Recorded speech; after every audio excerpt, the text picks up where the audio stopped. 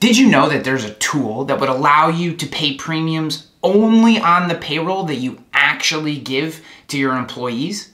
This is called Pay As You Go Workers' Comp, and it's something you should consider. Hi, my name is Ryan Hanley. I am the founder of Rogue Risk, where we do insurance differently, specifically by giving you knowledge and information to help you make the right insurance decision.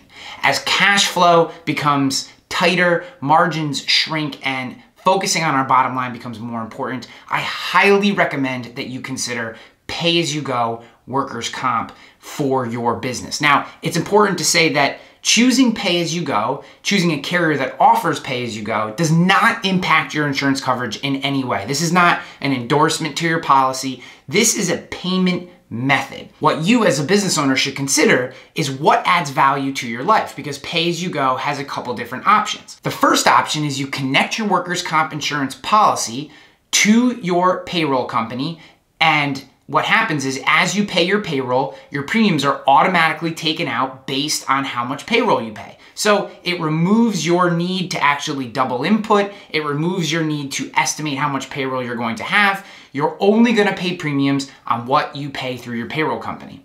The second option is monthly self-reporting, which allows you to go in each pay period and upload your payroll form and input how much payroll you paid your employees. This way, you do not have to go through your payroll company. You can go directly to your insurance carrier and the effect is the same. You're only going to pay premiums on the amount of payroll that you actually pay to your employees. So businesses that have a lot of fluctuation both in number of employees and total amount of payroll throughout the year, if you're seasonal, pay as you go workers comp is almost a no-brainer. Additionally, even if you have a business that has a more steady state, just not having to think about paying your workers' compensation premiums on a monthly basis uh, removes one step, one headache from the process. It also removes the need for an audit at the end of the year. And even if that carrier does decide to audit your payroll, then you know you're going to be very close to what the number is that you uh, paid because you were actually only paying on what you inputted. So there,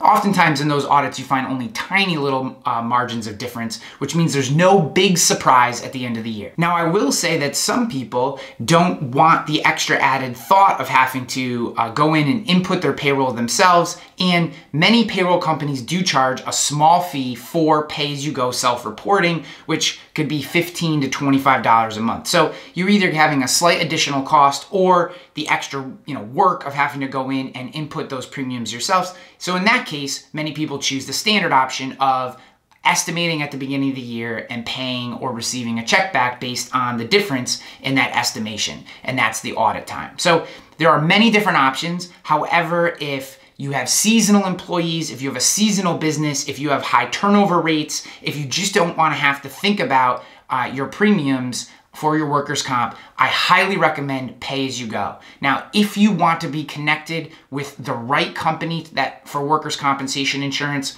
Workers' comp is what we do here at Rogue Risk. We would be happy to help you. We can shop your rates out to the many different carriers they have and ultimately place you with the right carrier who offers the right payment option for your business. Give us a call today at 518-960-6600 or visit us at roguerisk.com to contact us today. We look forward to working with you.